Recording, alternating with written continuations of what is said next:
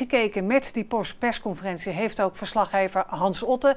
Hij staat in Leiden, als het goed is, bij uh, basisschool uh, Haanstra daar in Leiden. Um, ja, hoe reageren ze daar op het nieuws, Hans? Nou ik neem aan dat heel veel ouders en kinderen vooral blij zijn. Maar bij leerkrachten moeten we het nog zien. Die zijn hier niet natuurlijk. Uh, ik spreek wel met uh, de directeur, meneer Groot. Uh, ja, wat vindt u ervan dat u weer open mag? Voor de helft van de tijd in ieder geval en voor de helft van de kinderen. Nou, fijn aan de ene kant. Want we hebben de kinderen gemist de afgelopen weken. Uh, maar het is ook wel een uitdaging om nu een paar dagen voor de meivakantie dit te gaan organiseren met wat net gezegd is op de persconferentie. Maar is het realistisch dat kinderen dan voor de helft van de tijd hier op school komen te zitten en de andere helft van de tijd uh, thuis nog met het afstandsonderwijs doorgaan? Nee, dat lijkt me niet. Ik heb dat niet trouwens op de persconferentie gehoord, ik heb het wel net gelezen. Ik denk dat je een van twee kan. Maar nu de kinderen weer naar school mogen komen, denk ik dat het reëel is om uh, uit te gaan werken hoe we de helft van de kinderen, nee, uh, anders gezegd, de kinderen de helft van het onderwijs nu kunnen aanbieden. Op welke manier we dat gaan doen. Maar daarnaast nog 50% thuisonderwijs ook te verzorgen. Ik denk niet dat dat realistisch is. En kunt u rekenen op al uw personeel? Ik kan altijd rekenen op al mijn personeel, maar ik heb gewoon ook personeelsleden die in een uh, leeftijdscategorie zitten die kwetsbaar is. Uh, en zoals bij elk team met mensen zijn er mensen die uh, iets medisch hebben waardoor ze ook kwetsbaar zijn. Ja. Nou, dat geldt ook voor dit team. En de kinderen. Uh, kunt u zonder meer zeggen van nou hier uh, neem ik een streep door het midden.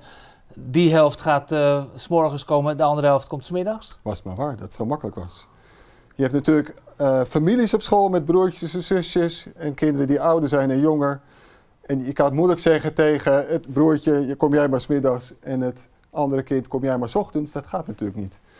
Dus we gaan morgen aan de slag met deze uitkomst, met een puzzel om de kinderen in uh, twee grote groepen te verdelen. En verder moeten we met elkaar gaan uitwerken hoe we die 50% met elkaar gaan realiseren. En kort nog even een laatste vraag. Wat gaat u ze geven? Wat gaat u met ze doen als u begint? Nou, dat is wel heel duidelijk. Uh, dit is zo'n uitzonderlijke situatie. Dus wij denken dat de kinderen heel veel behoefte hebben aan veiligheid, aan opnieuw leren met elkaar in een groep uh, samen te werken en te spelen. Dus heel veel socialisering, heel veel aandacht voor uh, de diversiteit waarmee kinderen in aanraking zijn gekomen de laatste weken. Sommige kinderen hebben er niks van gemerkt. Andere kinderen hebben stress gehad thuis.